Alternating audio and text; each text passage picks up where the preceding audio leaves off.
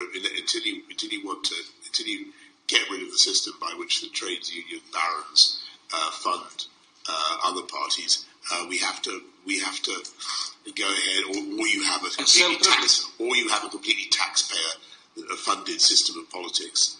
Uh, we, so need to, we, need to, we, need to, we need to continue uh, with a, a, system by which uh, public spirited people uh, give donations. But find themselves in the House of Lords. This is selling peerages. The, the people who, uh, the, the, people you're talking about have done, uh, I think, uh, things that uh, acts of great public service uh, for, for a long time.